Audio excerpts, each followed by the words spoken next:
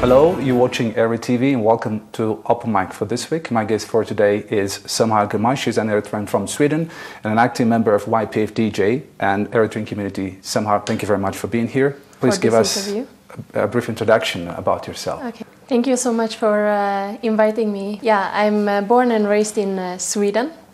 Uh, I'm 28 years old, and uh, my educational background is in. Uh, I have a master in um, engineering in biotechnology from Lund University in Sweden, and I did my master thesis in Japan for six months, and that was about artificial blood or blood substitutes, which led me into my current PhD project uh, which I'm conducting at uh, Chalmers Technical University, also in Sweden, and uh, specifically within food science.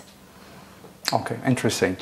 Now, uh, let me ask you about your profession, which is food scientist. Please tell us what exactly food science is all about. So, food science is about understanding the chemical reactions, the bi- biochemistry uh, of the food components.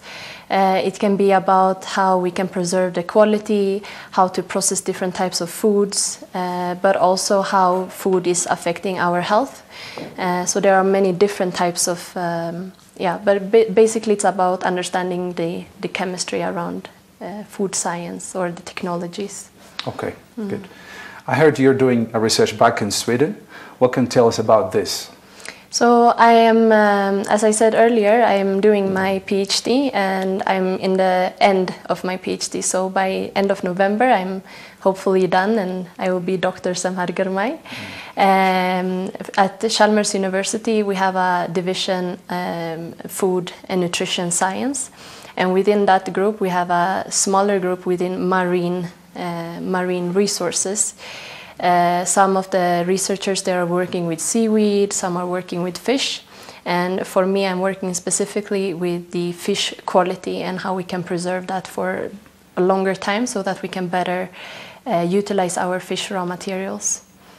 Interesting. Do you have any plans to come back to Eritrea and do your research about Eritrean marine resources? Yes, that would be very interesting because we have a big uh, biodiversity in our ocean, in, in the Red Sea. Uh, we have very big capacity in Eritrea, um, untouched resources, marine resources. So, of course, also for me, when I w- was choos- choosing to do this PhD, I had Eritrea in my mind all of the time. Uh, it would be very, very interesting and, and fruitful for me to, uh, to contribute with knowledge or uh, to some degree uh, to build a um, fish industry in Eritrea someday. Uh, also, I have been um, in uh, collaboration with Dr. Eden Tareke. I know her from Lund University when I was a master student and uh, she she's also working with food science. So we had started uh, some smaller research projects to the, together. So hopefully I can also continue uh, within research in Eritrea. Hopefully. Interesting. Interesting. Okay. Now let's talk about the seminar you conducted recently with members of the National Union of Eritrea Women. What was the object of the seminar and what was the feedback from the participants? So uh, this uh, seminar was part of my uh, PhD uh, PhD in Sweden. I have to conduct um, a popular science presentation for people that are outside of research. I should present my research in a in an easy in an easy way. Uh, so I asked them, since I'm coming to my home country, if I could do the presentation or the seminar here. And since that's, that was okay, I contacted uh, the National Union of uh, Eritrean Women, which I have contact with since uh, Sweden. Uh, and then they helped me to, uh, to spread the information about this seminar and, and give me an audience. Uh, the seminar was very good. Uh, I got a lot of uh, good and clever questions from the audience, but also a lot of feedback. And the feedback is very different from the type of feedback that I get from. Uh, I've been doing um, presentations at different types of international conferences, but coming to your home country and and doing this kind of seminar for me, it's a small thing, but it's so appreciated by the people, by my people. Uh, so that gives you a completely different type of strength and support. So that was amazing. Okay, okay, good. Um, you're a member of the Eritrean community and YPFDJ in Sweden. How active are you in these organizations? Tell us about the activities of the Eritrean community in Sweden uh, in general and YPFDJ in particular. Tell us about this. Yeah, uh, that's true. I'm part of uh, YPFDJ since uh, 2017, and that was when I was in the end of my uh, master. Mm. I decided that I had to start becoming an active member of the Eritrean community and, and start to, to learn more about what we need to do together in Eritrea or even in the Eritrean community outside of Eritrea. So I contacted the um, Eritrean embassy in Sweden uh, and got in contact with YPFDJ. And since then, I've been learning a lot about Eritrean identity, what we need to do, the situation in Eritrea and outside of Eritrea. So I've learned a lot.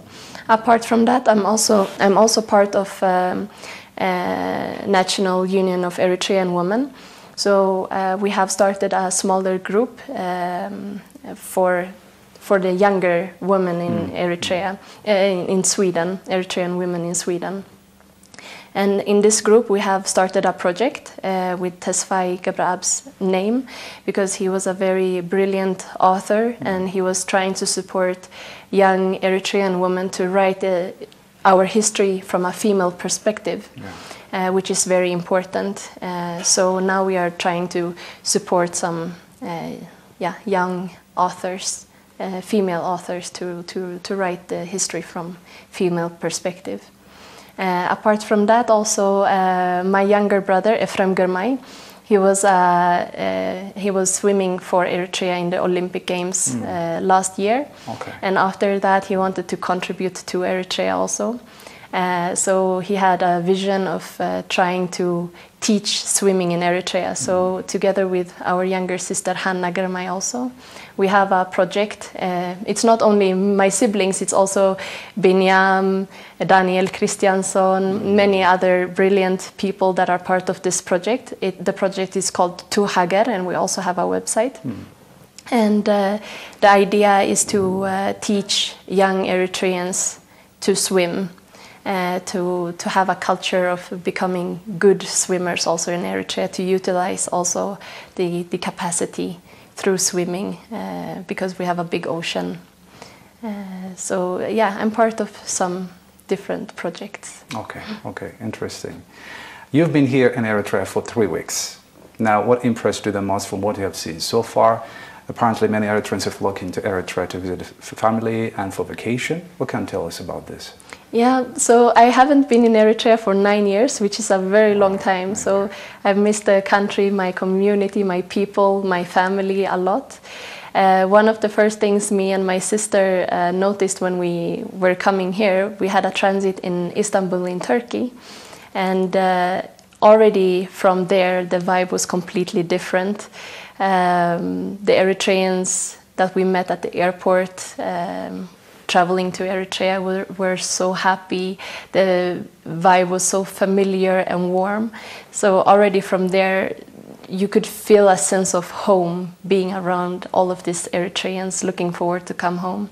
And then also landing in Asmara airport, uh, the how people received us and everything. You really you really feel at home uh, landing here. And then, of course, I missed my, my family, so it was very nice to meet them. Apart from that, I've been. Uh, my uncle took us to some places around Asmara to see some of the new developments that are um, happening. Uh, the new big roads, uh, the dams that have been built, uh, Adhallo, Gergera. So it, this gives you a lot of um, encouragement and and uh, yeah, we have a bright future. Interesting, mm-hmm. interesting. Mm. Okay. Um, I have one last question. Do you have any plans to come to Eritrea? What's your future plan? So, uh, short term, to finish my PhD now by the end of this year. And then after that, I want to continue within the fish industry because I see a big capacity also in Eritrea. Whatever I, I learn, I, I want to apply it also here. And since we have a big marine source, um, I would be very happy to contribute with my knowledge to the fish industry in Eritrea. Uh, and to make that stronger and um, a big potential uh, for the country. Uh, also, hopefully, I can continue within research. Uh, collaborations with Eritrea would be very nice. So I hope uh, that I can continue with that. Thank you very much for being here, Selma. I really appreciate it. Thank you so much. Okay, that's all for this week. Thanks for watching.